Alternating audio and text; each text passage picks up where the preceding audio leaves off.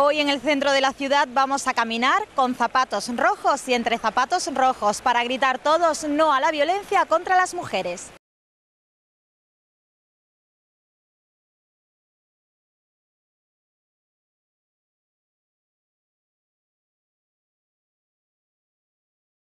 Como recordatorio de las que ya no están, como apoyo para quienes están sufriendo, como reclamo para toda la sociedad.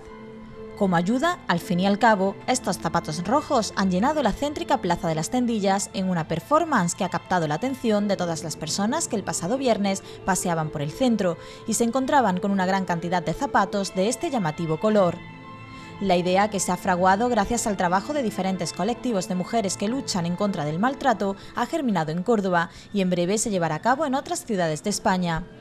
Además de los zapatos rojos, en la cita también se ha podido escuchar un manifiesto en el que se ha pedido el máximo apoyo por parte de la sociedad a las afectadas por este problema, así como se ha animado a las propias mujeres maltratadas a no guardar silencio. Y más Varias rodeados de mujeres se han dado cita en este rojos, evento, porque- en el que tampoco ha Bueno, es faltado la una música. iniciativa de arte público que hemos llevado aquí en Córdoba, muchísimas entidades con un compromiso feminista muy claro de combatir la, violencia de género. Queremos erradicar cualquier manifestación de violencia de género y cada zapato representa una de las mujeres, niñas y jóvenes que ya no están.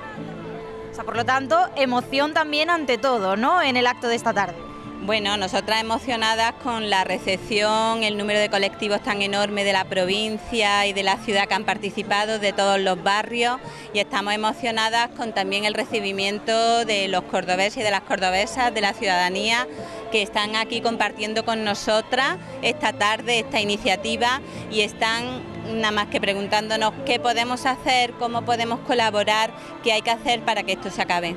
Si el objetivo era llamar la atención, lo habéis conseguido y bien, ¿eh? Está aquí la mitad de la ciudad pendiente de lo que está ocurriendo en las tendillas. Bueno, pues yo, nosotros creemos que no es solamente un acto de un día, que la verdad que lo agradecemos de corazón, pero que este es un problema que tiene unas raíces muy profundas, que solamente a través del compromiso y la apuesta político de política y ciudadana la lograremos erradicar y nuestra idea es que no haya ni una muerta más, ¿no? que todas somos necesarias y que no tengamos que celebrar estos tipos de eventos más. ¿Se alza la voz cada vez más? Eh, se alza, cada vez hay más ciudadanía comprometida, cada vez hay más actos, pero sigue siendo insuficiente las medidas que, se llevan a cabo. Pensamos que la brecha de desigualdad sigue siendo muy, muy grande, que las víctimas de violencia, los, los feminicidios, es solamente la punta del iceberg de un problema estructural enorme y precisamente sabemos los movimientos que llevan mucho tiempo que es una problemática que siempre se desplaza en muchísimas agendas ante una situación de crisis, las necesidades de las mujeres son desplazadas, relegadas como no prioritarias y nosotras lo único que decimos es que somos ciudadanas de primera, al igual que nuestros compañeros, y que tenemos que tener los mismos derechos, las oportunidades y el mismo trato.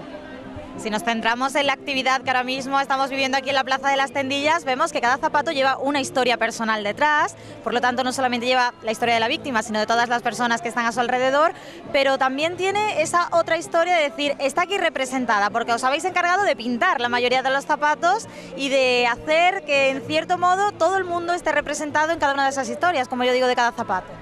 Pues sí, efectivamente, cada zapato representa la historia de una niña, de una joven, de una mujer mayor. Verás que hay zapatos de todo tipo.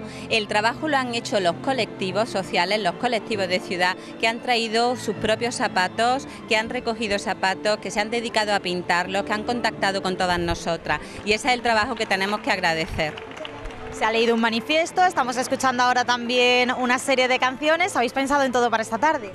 Pues eso es lo que hacemos las cosas las mujeres, ¿no? Los colectivos feministas solemos hacer las cosas así, ¿no?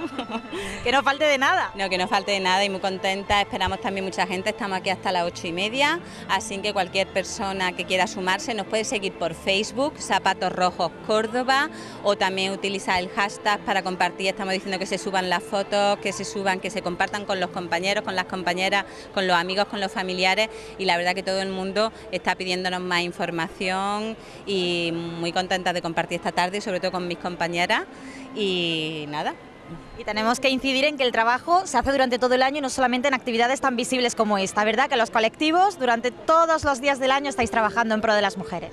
Pues así es, ¿no? no solamente los días claves, que ya sabemos que son el 25 de noviembre, de hecho estos zapatos se van a recoger porque nos lo han solicitado desde Valladolid para replicar esta iniciativa en Valladolid. Es un trabajo en red fantástico y nosotras como ya llevamos haciendo mucho tiempo, hay colectivos aquí que llevan mucho más tiempo que, las más jóvenes, voy a señalar a Isabel, pues eh, trabajamos, sabemos, sabemos bueno, y Olga.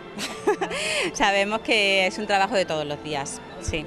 Bueno, ya para terminar, vamos, vamos a lanzar un mensaje para todas esas personas que todavía no hayan dado el paso a decir, tengo un problema pero no sé cómo contarlo. Cuentan con vosotras, ¿verdad?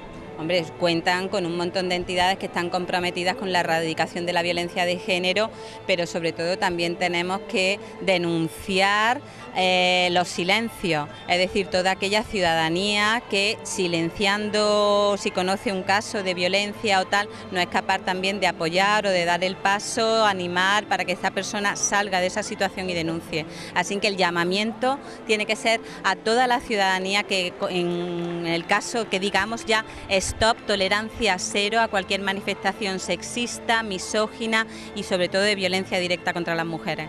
Muchísimas gracias y enhorabuena por llamar la atención. Muchas gracias a vosotros y a mis compañeras. Chao.